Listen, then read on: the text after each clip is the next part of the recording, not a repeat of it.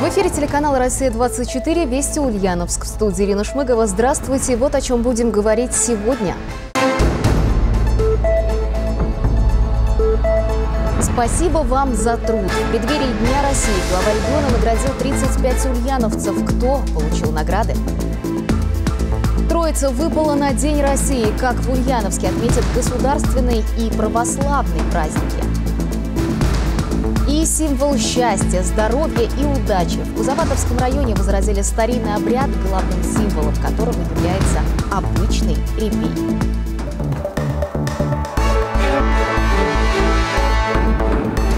Итак, в преддверии Дня России глава региона наградил 35 жителей Ульяновской области, добившихся высоких результатов в различных отраслях. Среди них учителя, работники лесного хозяйства, военные, ученые, все, кто стремится делать благо для своих земляков.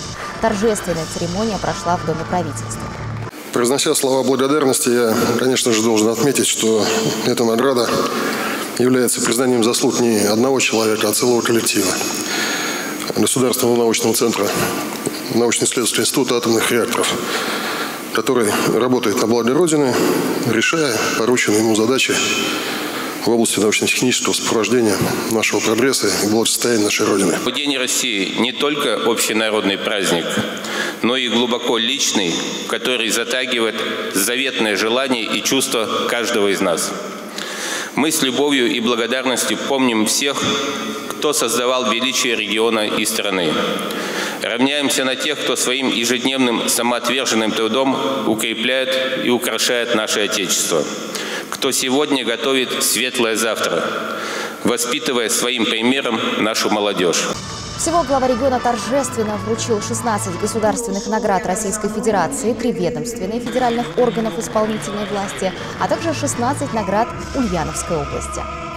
В День России общественный транспорт в Ульяновске будет работать до полуночи. Праздничные события 12 июня по традиции разделят на дневную и вечернюю части.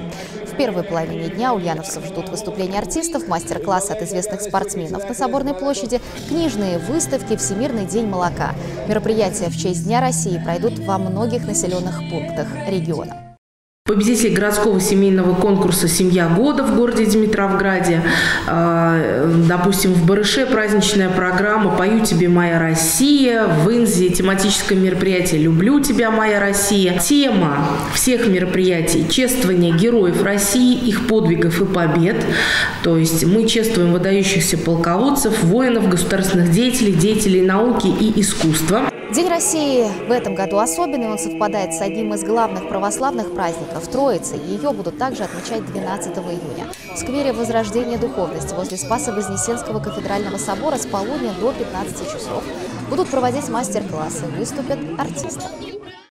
Уже более 20 площадок у нас будет работать.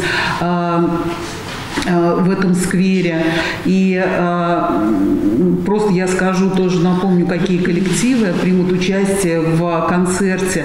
Конечно, э, духовные песнопения, как я уже ранее говорила, они будут обязательно в, День Святой Троицы. И эти песнопения исполняют удивительные, замечательные коллективы. С 7 часов вечера на площади Ленина перед ульяновцами гостями города будут выступать местные танцевальные коллективы. В 9 вечера на сцену выйдет российская исполнительница Марина Девятова. На 22 часа намечен праздничный салют. При этом горожан просят не оставлять автомобили на центральных улицах. Даже если погода не наладится, скучать не придется. Так говорят юные ульяновцы о лагере отдыха «Ласточка», что на берегу Стромайнского залива. По традиции здесь гостят ребята, занимающиеся различными видами спорта. Отдых у них сочетается с активными тренировками. Игорь Кранцев познакомился с распорядком дня юных спортсменов. Наш девиз – максимум силы, минимум смеха, так мы быстрее добьемся успеха. Несмотря на юный возраст, добиваться успеха этим ребятам не привыкать. Среди тех, кто проведет первую смену в «Ласточке», победители и призеры различных турниров по кикбоксингу и спортивной аэробике, дзюдо, греко-римской борьбе и другим видам спорта. А, три тренировки в день. Это очень полезно для здоровья. Тоже столовая. Мне очень нравится, что сбалансированное питание, нет никаких э, вредной, никакой вредной еды. Тренера замечательные. Э, культ-организатор самый хороший. Директор тоже нормальный. Спортшкола Засвияжского района. Первая спортшкола из района Железнодорожного и спортшкола Симбирск, что в северной части Ульяновска. Всего здесь отдыхает 132 человека. Многие ребята не знали друг друга до этого лета, но теперь все будет иначе. Очень много друзей у меня появляется в лагере. Очень много всех. И друзья, и вожатые с ними тоже знакомишься, дружишь. Тренировочная программа у представителей разных видов спорта отличается, но совместных мероприятий при этом предостаточно. Как говорит руководитель лагеря, даже в прохладную погоду будущие чемпионы скучать не будут. У нас есть скрытые беседки, вот, в которых, в принципе, в условиях дождя дети занимаются. А, также есть у нас а, свой, так скажем, кинотеатр. Спортсмены, они дисциплинированные, они очень активные, трудолюбивые, поэтому э, с порядком, с дисциплиной у нас проблем не бывает. Городские власти контролируют отдых детей в загородных лагерях, в том числе и в тех, что со спортивным уклоном. Говорят, что путевки на лето 22 года в «Ласточку» уже закончились. У нас, э, ну, как известно, более, более 80 видов э, спорта федерации в нашем городе, поэтому подавали заявки. Смена полная. В этом году нам удалось э, полностью использовать наш лагерь, 132 человека. Будет в этом году 5 смен. Смена для первых ласточек будет самой продолжительной. Ребята проведут на берегу залива 21 день, остальные по две недели. Больше, увы, невозможно. Просто-напросто закончится лето. Люлё на счастье. В Кузоватовском районе возразили старинный обряд, главным символом которого является обычный репей. Праздник села Спешневка прошел в Великий четверг перед Троицей. О традициях симбирской земли Элла Шахова.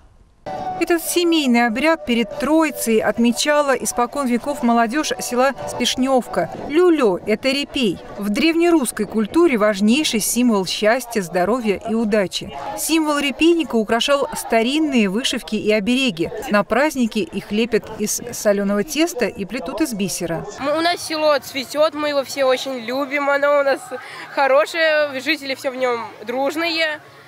У нас, много, у нас в селе много всяких рукодельников. Например, у нас занимаются бисероплетением, э, вышиванием, рисуют многие. Для обряда по традиции находили в поле прошлогодний большой репей, сухой белый, как деревце. Украшали его цветными лентами, бумагой и конфетами. Это украшенное деревце и есть люлё. С ним молодежь шла на Спишневские заливные луга вблизи Свияги петь-плясать. Сама процессия одевалась почуднее. Репей несли ряженые жених и невеста. Люлю вообще это праздник, который проводился на наших лугах давным-давно. Просто со временем он ушел в историю, и в связи с этим вот нам пришла жителям такая идея возродить его заново, чтобы как бы вернуть вот эти традиции, привить их детям. На лугах девушки плели венки, при этом некоторые из них гадали, бросали свой венок в свиягу. Если поплывет веночек, то скоро замуж, а если утонет, то в этом году женихов не жди. Элла Шахова, Алексей Прохоров, Вести Ульяновск из Кузоватовского района. Юные ульяновские спортсменки успешно выступили на первенстве России по многофункциональному многоборью. Хрупкие, красивые, при этом физически сильные, Лиза Ларионова и Русалина Цыганцова стали бронзовыми призерами соревнований всероссийского масштаба.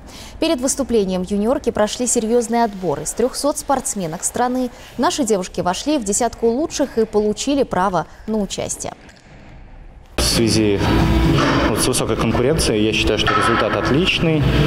Э, Причем баллов было количество по итогам соревнований одинаково. И девушки то есть, распределились по местам только вот как закончили последнее задание. То есть, в принципе, конкурентоспособно выигрывать эти соревнования. Просто ну, немного удачи не хватило в этот раз. Медалистки совмещают функциональное многоборье с тяжелой атлетикой. Лиза в этом спорте уже три года и даже выполнила норматив мастера. Для нее успех на первенстве второй в карьере, а вот Русалина впервые взошла на пьедестал почета. Было очень сложно. Я могла занять первое и второе место. У меня были одинаковые баллы, потому что... Но по последнему заданию я немного ну, не выдержала, потому что было тяжело. Вот, и поэтому заняла третье место.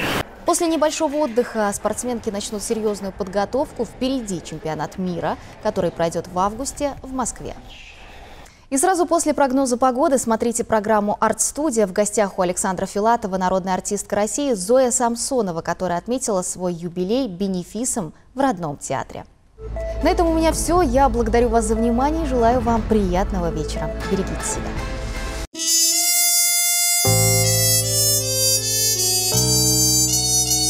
12 июня, в День России, Всероссийская государственная телерадиокомпания проводит фестиваль-марафон молодежной патриотической песни «С чего начинается Родина».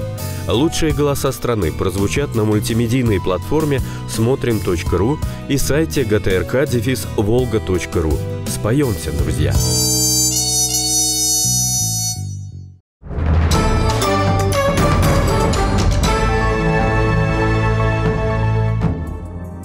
В ближайшие сутки атмосферное давление будет расти. Ожидается переменная облачность без существенных осадков. Ветер ночью западный, слабый до умеренного. Днем северо-западный, умеренный. Температура воздуха ночью по области от 10 до 15 градусов тепла. В Ульяновске плюс 13, плюс 15. Завтра днем по области от 22 до 27 градусов со знаком плюс. В Ульяновске плюс 24, плюс 26. В лесах области сохраняется высокая пожарная опасность 4 класса. Кавказа.